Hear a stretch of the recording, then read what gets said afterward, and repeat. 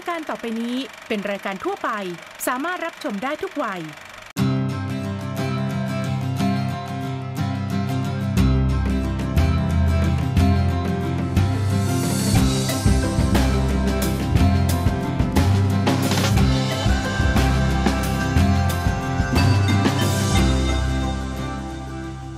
วัสดีครับ มองรอบทิศกระชับมิตรชุมชนนะครับ วันนี้นิกกี้มาอยู่ที่วิสาหกิจชุมชน กลุ่มแม่บ้านเกษตรกรบ้านเหนือในจังหวัดพระนครศรีอยุธยาครับ ที่นี่นะครับมีการรวมกลุ่มกันผลิตขนมเปี๊ยะและก็ขนมกลีบลำดวนนะครับ ซึ่งเป็นสูตรเฉพาะที่ยังคงเสน่ห์ของขนมไทยไว้ครับ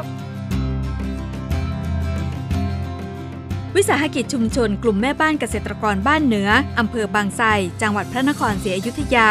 เกิดจากความต้องการที่จะใช้เวลาว่าง หลังจากทำการเกษตรแล้ว มาสร้างอาชีพเสริมเพื่อเพิ่มรายได้ให้กับครัวเรือน โดยมีการรวมกลุ่มทำขนมเปี๊ยะ และขนมกลีบลำดวนส่งขายตามร้านของฝากในจังหวัด เริ่มแรกเลยก็คือเห็นชาวบ้านในหมู่ญาติพี่น้องในชุมชนเนี่ยเขาว่างงาน คิดว่าเออเราน่าจะแบบมารวมคิดกันว่าจะทำอะไรสักอย่างหนึ่งแล้วก็พัฒนาต่อยอดกันก็คือ ช่วยกันคิดช่วยกันปรับปรุงจนสูตรจนได้ได้มาตรฐาน อย่างเช่นขนมเปี๊ยะอย่างเงี้ยของเราจะไส้ไม่หวานมาก มีไข่เค็ม แล้วก็แป้งนิ่มแล้วก็หอมควันเทียน นอกจากขนมแล้วตอนนี้มีทำดอกไม้จันทร์ทำพวงหลีด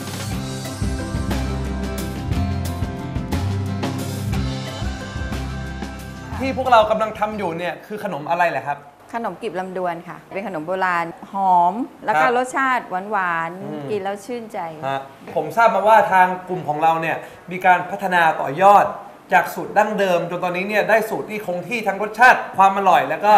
มาตรฐานการผลิตด้วยใช่ไหมครับ ใช่ เพราะว่าตอนแรกคือขนมเราจะเป็นแบบว่า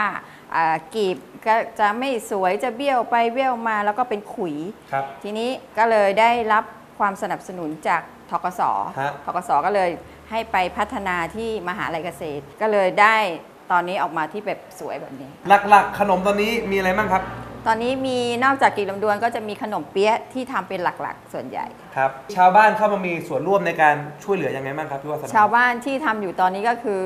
ว่างจากภาคเกษตร ก็เลยมารวมกลุ่มกันทำอ่ามาช่วยกันทำครับ ใครมีความสามารถอะไรก็มาช่วยตรงนี้ แบบนี้ใช่ มีงานทำกันทุกคนใช่ นะมีงานทำมีรายได้ ครับ